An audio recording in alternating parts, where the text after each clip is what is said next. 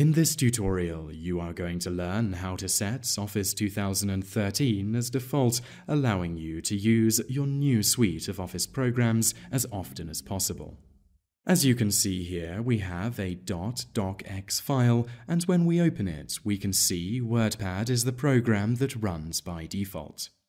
To associate this program with Word 2013, you need to click on Start and then click Default Programs. The default programs window will appear. From the list of options, you need to click Associate a file type or protocol with a program. The computer will load a list of file types and you need to locate and click on .docx in the list. As you can see, the file type is associated with WordPad. Click on the Change Program button and the Open With window will appear. Select Word and click OK. Close the open windows and navigate back to where the document is located.